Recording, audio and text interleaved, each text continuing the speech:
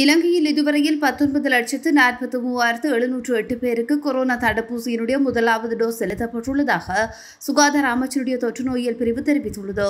நேற்றைய தினத்தில் மாத்திரம் இருபத்தி இரண்டாயிரத்து தொள்ளாயிரத்து ஏழு பேருக்கு சீனாவின் சினோஃபார்ம் தடுப்பூசியினுடைய முதலாவது டோஸ் செலுத்தப்பட்டுள்ளது. இதன்படி நாட்டில் இதுவரை ஒன்பது லட்சத்து ஐம்பத்து மூவாயிரத்து நானூற்று எண்பது பேருக்கு சினோஃபார்ம் தடுப்பூசி முதலாவது செலுத்தப்பட்டுள்ளது.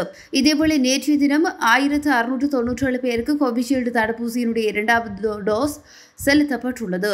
இதற்கமைய இதுவரை மூன்று லட்சத்து ஐம்பத்து மூவாயிரத்து நூற்று ஐம்பத்தாறு பேருக்கு கோவிஷீல்டு தடுப்பூசியினுடைய இரண்டாவது டோஸ் செலுத்தப்பட்டுள்ளது.